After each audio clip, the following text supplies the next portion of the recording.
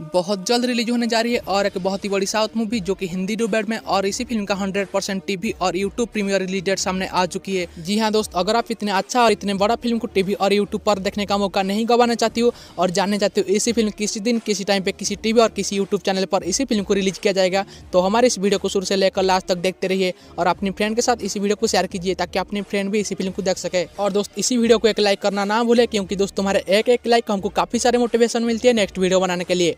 दोस्त, इसी फ़िल्म 24 नवंबर 2016 को रिलीज़ हुई romantic comedy drama Tamil language film, जिसका नाम है काभालाई भेंदम। और इसी फ़िल्म को डायरेक्ट किया है डिक्की ने। अगर दोस्त, इसी फ़िल्म की लाइक और रेटिंग की बात की जाए तो इसी फ़िल्म को आई की तरफ़ से फाइव रेटिंग मिला है आउट ऑफ़ टेन से, जो कि इसी फ़िल्म को 85 परसेंट लोगों ने लाइक किया है, यानी पसंद किया है। और दोस्त, इसी फ़िल्म के अंदर आपको लीड स्टार कास्ट में नज़र आएँगे, जिभा काजल अग्रवाल, सोनैना श्रुति कृष्णा आरजे बालाजी और मनु बाला आदि स्टार कलाकार आपको इसी फ़िल्म के अंदर लीड स्टार कास्ट में नज़र आएँगे। दोस्त, इसी फ़िल्म की लाइक रेटिंग और स्टार कलाकार से पता चलता है कि इसी फ़िल्म एक बहुत ही अच्छा खासा रोमांटिक कॉमेडी फ़िल्म है, जो कि आपको ज़रूर पसंद आएगी। दोस्त, आगे बढ़ने से पहले आपको एक छोटी सी गुजारिश है कि अगर आपको हमारी वीडियो पसंद आ रही है और आप अभी तक हमारे यूट्यूब चैनल को सब्सक्राइब नहीं किया है तो हमारे यूट्यूब चैनल को सब्सक्राइब कर लीजिए और साथ साथ बेल या घंटा के आइकन को दबा दीजिए, ताकि हमारी आने वाली हर न्यू वीडियो की नोटिफिकेशन आपके पास पहुँच सके। सबसे पहले।